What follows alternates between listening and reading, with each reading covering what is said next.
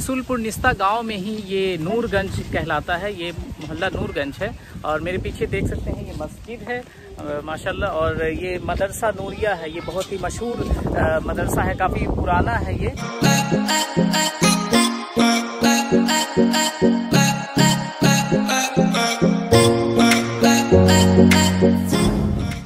पीछे ये मकान देख सकते हैं। ये मरहूम जनाब सगीर साहब, ये उन्हीं का मकान है और माशाल्लाह बहुत ज़बरदस्त मकान है ये देखिए। ये इसी निस्ता गाँव में ही है ये। नूरगंज मोहल्ला है, उसी में है ये।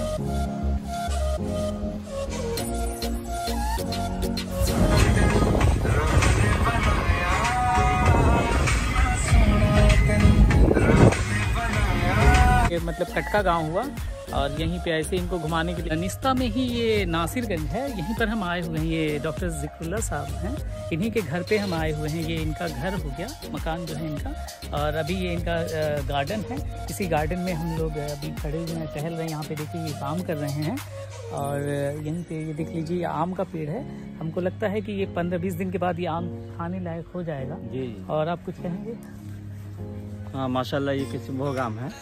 खाने के लायक हो जाएगा पंद्रह बीस वर्ष के बाद। ये हमारे जन हैं फैमिली मेंबर हैं ये लगातार यहीं काम करते रहते हैं।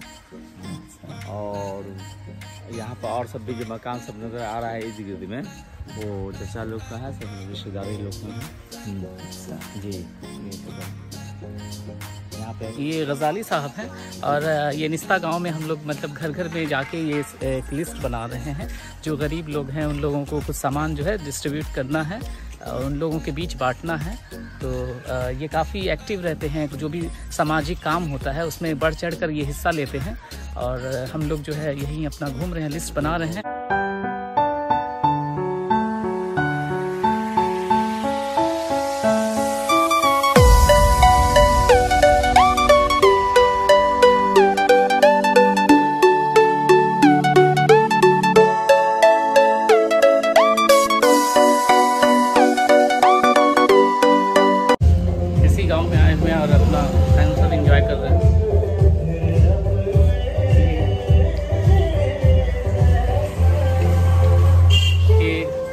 कटका है?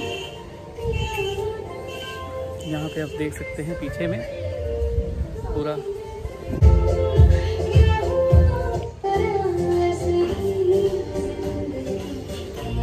कैसा लग रहा है तुमको? अच्छा लग। रहा है मज़ा आ रहा है? जी। बहुत। जी। अरे वाह। ये देखिए, ये आम जो है, ये गाँव में रहने का एक अपना अलग ही मज़ा है। गाँव में अभी आम का वक्त है और घूम घूम कर गाछी सब में आम गिरते से ही हम आराम से इसको खा सकते हैं। अभी दस पंद्रह दिन में ये और अच्छे से पक जाएगा, सारा जो भी आम सब है। तो बहुत ही ज़बरदस्त मज़ा है। देखिए, गाँव देहात में रहने का। जनाब जैफी साहब हुए। और हम लोग शॉपिंग करने के लिए यहाँ पे ये रोड जो है, ये फड़वाड़ा कमतौल रोड है। और हम लोग शॉपिंग करने के लिए कमतौल बाज़ार गए हुए थे। फिर वहाँ अचानक काफ़ी बारिश होने लगी। ये गाँव देखिए, ये पीछे में, ये कुमरौली गाँव कहलाता है। और ये जो चौर है, जो काफ़ी मशहूर चौर कहा जाता है सोतिया का चौर, ये बहुत किसी ज़माने में रोड जो है बहुत ही ख़राब था। लोग आ जा नहीं सकते थे। मगर अब माशाल्लाह बेहतरीन रोड देख लीजिए यहाँ पे बन गया है। यहाँ पे देखिए ये बच्चे लोग काफ़ी खुश हैं और सब जो है बहुत अच्छे अच्छे अंदाज में है। चल रहा है। अभी क्रिकेट खेल रहा है। अभी क्रिकेट खेल रहा है या क्रिकेट जीत गया है। शाम का वक्त है और निस्ता गाँव में ये जो कोतर है कोतर चौर कहलाता है ये। यहीं पर आए हुए हैं टहलते हुए ये मेरे दोस्त श्याम हैं और ये इनके कज़न हैं। कुछ बोलिए कुछ बताइए कुछ एक खेती है समय सावन से उत्पादन होता है इसमें धान अगहन माह से इसमें गेहूँ की फ़सल तैयार की जाती है। अच्छा। साल में दो फ़सल केवल लगती है। अच्छा कैसा लगता है आपको यहाँ गाँव में रह के? ज़्यादा पसंद यहाँ है या बाहर में दिल्ली वगैरह में ज़्यादा? नहीं मेरे गाँव ही पसंद है। ये कटका गाँव में नया ठंडा का दुकान खुला हुआ है और ये क्या नाम हुआ आपका? अश्वनी कुमार। नाम है। यही ऑनर है इस दुकान के। ये जनाब पप्पू साहब हुए। ये भी आए हुए हैं साथ में हमारे और ये हज़रत हुए ये भी आए हुए हैं। जी ये भी आए हुए हैं।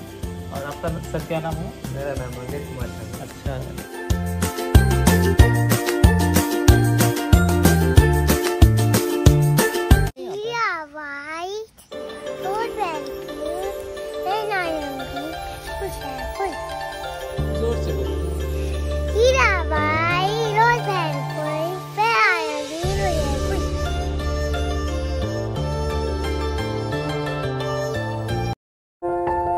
हीर मेरी तू हंसती रहे तेरी आँख घड़ी भर नम ना हो। मैं मरता था जिस मुखड़े पे कभी उसका उजाला कम ना हो। माई मेरी क्या फ़िक्र तुझे क्यों आँख से दरिया बहता है? तू कहती थी तेरा चाँद हूँ मैं और चाँद हमेशा रहता है। वहाँ गिरा हुआ है। आप क्या खुशी से दिए हैं। जी जी।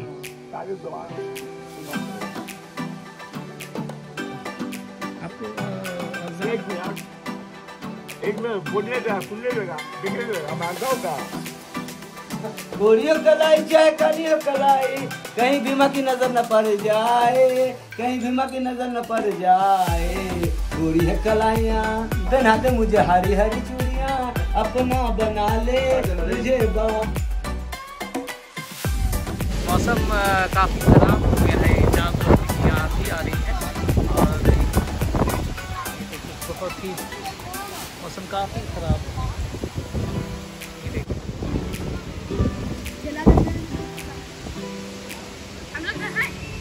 और ये रामातार जी है।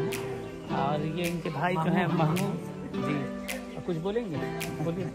जी हाँ? नहीं नहीं नहीं ऐसे ही बस वीडियो बना रहे। अच्छा।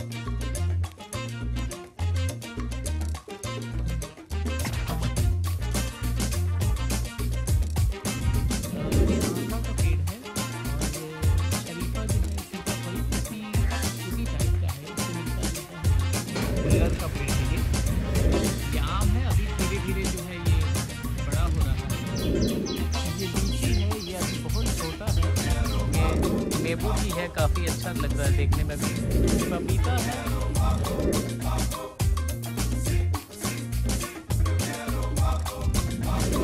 ये ये देखिए पपीता है और ये पपीता इसी पेड़ से अभी निकाला गया है। और यहाँ पे गाँव में रहने का एक अपना अलग ही मज़ा है। गाँव में अभी बारिश हो रही है और हैं, गाँव में आम के वक्त में आम, लीची के वक्त में लीची और अलग अलग वक्त में अलग अलग फ्रूट खाने को मिलता है। तो बस इंजॉय की अभी करेंगे इस फ्रूट को खाकर। बारिश हल्की हल्की हो रही है और ये पपीता अभी खा रहे हैं थोड़ा थोड़ा ये कन्नी लाल जी हैं। ये खेत वगैरह में काम करते हैं?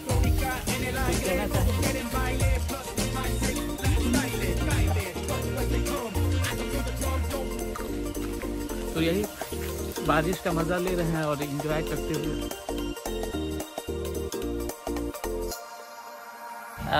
जो होता है हम लोगों का खेत, ये यही करते हैं। इनका नाम रेशन यादव जी है। और यही देख लीजिए, ये इधर में जो ये खेत है हम लोगों का उस तरफ़ में।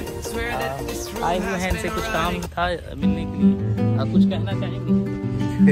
कथी कहिए क्या है? फुफू नहीं नहीं वो वीडियो बना रहे हम की कहलो देखो ना जीता खेत है पीछे में वो सेरहा कहलाता है ये हिस्सा में। वहीं पर दौनी वगैरह हो रहा है वहीं अपना गए हुए थे।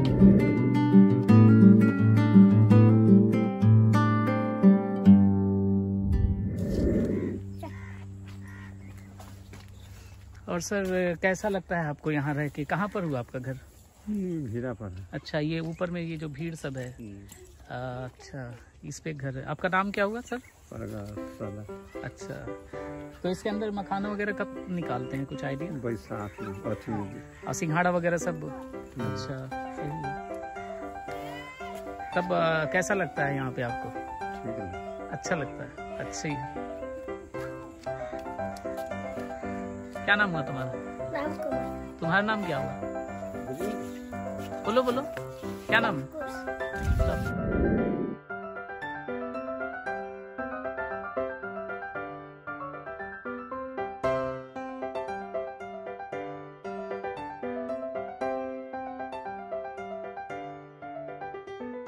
शाम का वक्त है और इसी गाँव में टहलते हुए यहाँ पर ये मुर्गी फार्म है, आप देख सकते हैं।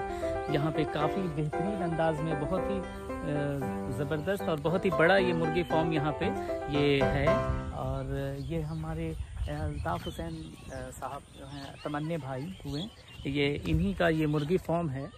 तो ये मुर्गी फार्म आप कितने दिनों से मतलब चला रहे हैं और इसके बारे में आप कुछ हमें बताएँगे? ये मुर्गी फार्म हम 2010 से चला रहे हैं। अच्छा। और पहले दूसरी जगह पर था। जी। छोटा था जो तीन हज़ार की कैपेसिटी का था। हम्म, लेकिन अब जो है ये छः हज़ार कैपेसिटी का है। जी। और इसमें इंदौर की एक कंपनी से हमने निप्पल ड्रिंकर मंगवा के लगाया है। जिससे ये एक आसानी हो गई है कि इसमें बदबू कम होती है यानी महकता कम है। अच्छा। और कुन्नी अंदर गीला कम होता है और लेबर के लिए भी आसान हो गया है काम करना। जैसे अगर 6000 की मुर्गी फार्म में कम से कम दो से ढाई आदमी का काम होता तो अब एक आदमी आराम से कर लेता है। और बिल्कुल बच्चा पहले दिन से ही ड्रिंक, निप्पल ड्रिंकर में पानी पीता है। ये है निप्पल ड्रिंकर सिस्टम, जो ये विंचर सिस्टम है और ये बिल्कुल ज़मीन पर यहाँ आ जाता है। और फिर काम करने का समय हो, बच्चा निकल गया, मुर्गी साफ़ सफ़ाई करना है तो इसे ऊपर कर दिए। और ये इसका पंप। और इस पंप पे ये खूबी है कि छोटा बच्चा को पिलाने के लिए और बड़े को पिलाने के लिए यहाँ से एडजस्टमेंट कर सकते हैं। और ये पानी में, ये खूबी है कि गर्मी के ज़माने में पानी गर्म नहीं होता है। और दूसरा ये है इसका खास ये ये दो टैंक एक में दवा चलता है मेडिसिन के लिए है और दूसरा में सिर्फ़ सादा पानी सैनिटाइज करके पिलाया जाता है और ये इसका फ़िल्टर है।